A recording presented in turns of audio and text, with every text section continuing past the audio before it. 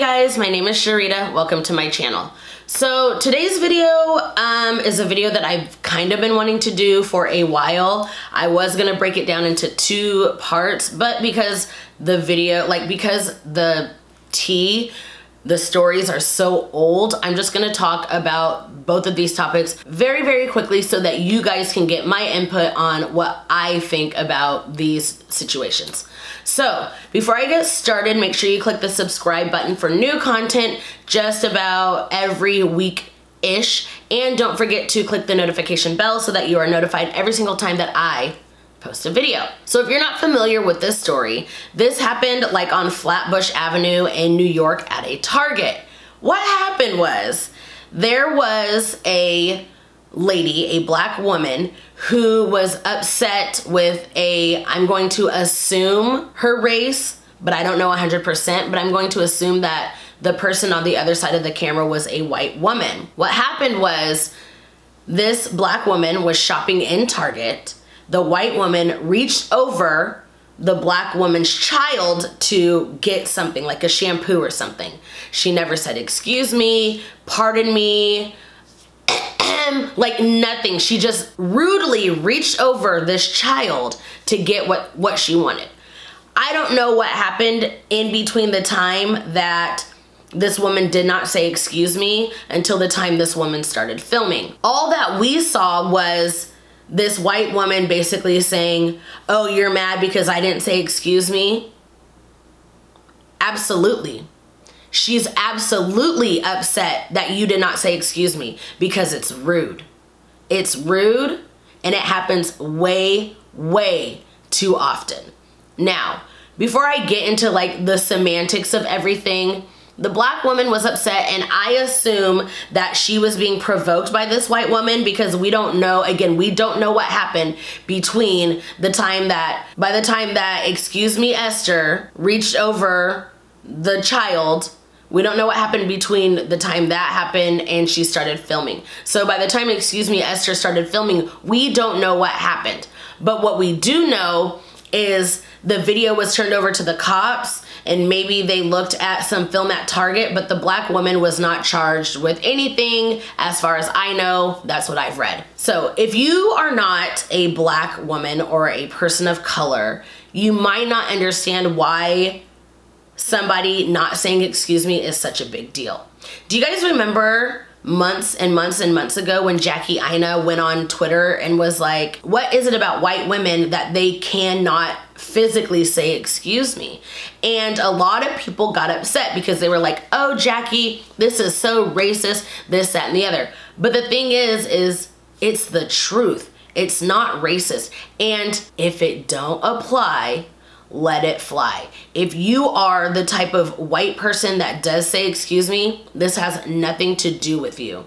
But as a black person, as a black woman, I cannot tell you how many times I have made it a point to walk out of the way of white people coming towards me because I know one, they're not gonna move, and two, they're not going to say, excuse me. Why do I know that? Because it's happened time and time and time and time again. And this isn't new, you guys. This is nothing new. So when Jackie went on her rant and was like, you guys, like, I'm not I'm not saying this to be racist. I'm saying this because this is what happens on a daily. And you guys, if you just like took 2 seconds this is four. But if you guys took two seconds to Google white women don't say excuse me, I promise you there are a plethora of videos, blog posts. There's so many things of other black women and other black people that are like,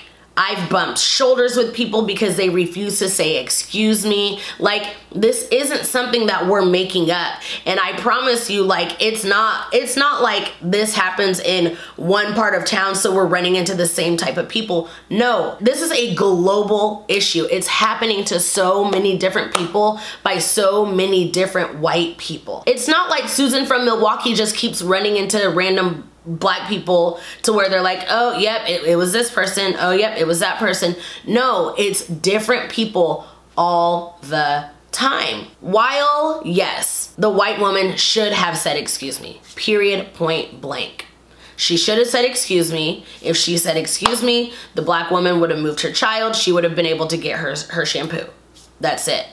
But because she didn't say excuse me, I'm sure something happened where she was basically like trying to break the character of this black woman, which she eventually did because because when she started recording the black woman like hit her phone a couple times and was like get that phone out of my face.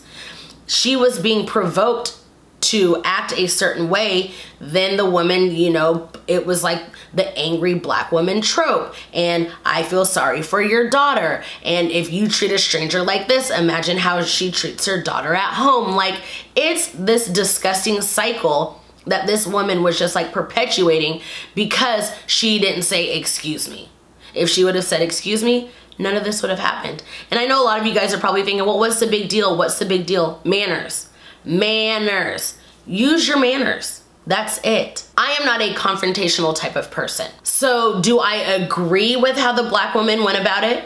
No, not necessarily, but I understand. In the words of Chris Rock, I'm not saying she should have done it, but I understand. I remember when I was in junior high, now I am mm -hmm, years old, and I remember being in junior high and I was one of maybe like five black kids in the school. And one of a couple of the girls were like hey we're gonna we're gonna try something. We're gonna test something. We're gonna stand in the hallway and hold hands and we just want to see who says excuse me so we did. We stood there. We held hands. People literally were like trying to go under our arms like trying to step over us. Anything but to fix their lips to say excuse me. Why is that such, why is that so hard? Why is that such a difficult concept to just say, excuse me? You say, excuse me, if the person reacts rude, then okay, that's fine. But just say, excuse me. Manners are not hard. Excuse me, thank you, you're welcome, like, manners are not hard. Manners should be taught from the time that we are babies. Manners. That's it. So let me know what you guys think. If you haven't seen the video, I'll make sure that I leave a link of the video because, I mean, it's something that you guys have to see. But I promise you, nobody is making it up when a black person, unless you're unless you're a black person, you can't say this isn't true because you have not lived in our footsteps, in our shoes. White people do not say, excuse me. So that's number one. The second thing I want to talk about is this, this campaign, this picture that has gone viral from H&M. So the first time I saw this picture of this beautiful little black girl, it was just her picture alone.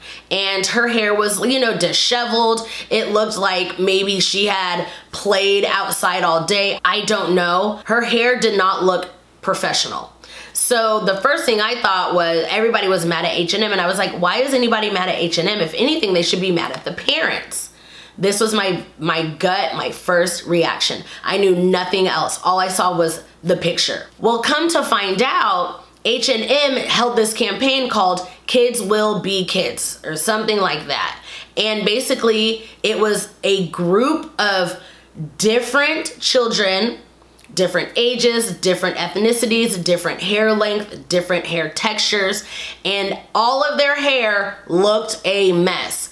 And what they were trying to show was what kids look like when they come home from school. Apparently that was not a good enough excuse. And people were mad because it was this little black girl who's got kinky coily hair and you know her hair was sticking up here, it was sticking up there. Her hair seems to be kind of thin so it wasn't like the fuller 4C type afro hair that media presents as being acceptable.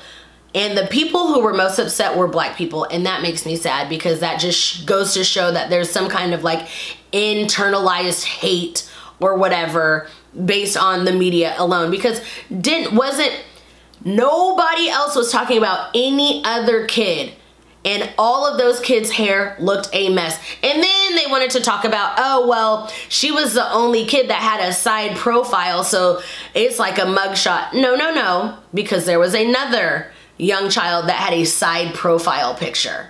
So miss me with the BS. This is fake outrage. It's fake hate. People were upset to me for no reason. Now, if this would have just been like her picture alone and nobody else had the same hair and it wasn't a kids will be kids campaign then yes of course we could be upset but there was no need to be upset and what i find funny what i find hilarious is last at the beginning of the month or the end of august parents were showing kids from when they left school in the morning and then when they picked them up there was one little black girl in particular where she went to school with this fake ponytail. It was this long, fake Elsa type ponytail. When her mom picked her up, the ponytail was out of her hair. The, the ponytail was gone. I don't know if the ponytail was on the playground. I don't know if the ponytail was in her backpack, but I can tell you the ponytail was not on her head. And her hair looked no different than what the little girl from H&M her hair looked like during that campaign. There was no difference and everybody thought that was the funniest thing. Like that picture went viral. Everybody was laughing. They were like, oh, she had a rough day at school. Oh, kindergarten is hard. Oh, she played real rough. She did this. She was being a child. But the minute H&M depicts, depicts? Uh-huh. The minute H&M depicts the same thing, the same thing, kids will be kids now it's an issue. People were like, oh, I would never. My child would never be in a magazine like that. Why not? Why not? I don't understand. I can understand if it was just her hair and everybody else's hair was done, slicked back, you know, perfectly presentable. I can understand that, but no, we have to stop shaming natural hair and especially 4C hair type 4 hair, which type 4 hair is the kinky, coily. Y'all remember when y'all hated on Blue Ivy? Y'all hated on Blue Ivy. Oh, I can't believe Beyonce would let her daughter walk out of the house like that. Like what? With natural hair? And the same people who are mad about this natural 4C people, you know, showing their 4 hair, those are the same people who don't like their own hair. Those are the same people who always have to have a weave or have to have a wig or have to have a protective style. Everybody want everybody is for the natural movement until it's type 4 hair. Then all of a sudden the hair is is unkempt. Then all of a sudden the hair is unprofessional. Just can we just love natural hair for being natural hair? Because nobody talked about the little girl that had the the 3C hair, the big loopy curls that were disheveled. Nobody talked about that. All they cared about was this beautiful young girl who has type 4 hair. And y'all hate to see it. And I'm just confused. If y'all can tell me the difference between real life, where this little girl came home from school and her hair looked just like this H&M magazine catalog model, until y'all can tell me the difference, stop with the fake outrage. Just stop. So those are the two topics that I really wanted to talk about today. If you enjoyed this video, make sure you give it a big thumbs up. That helps me out a lot. Also, do not forget to link up with me on my social media. All that information will be down below in the description box. I'm very, very active on Twitter, so let's be friends. And let's keep the conversation going below in the comment section. And until my next video, I'll see you guys later. Bye!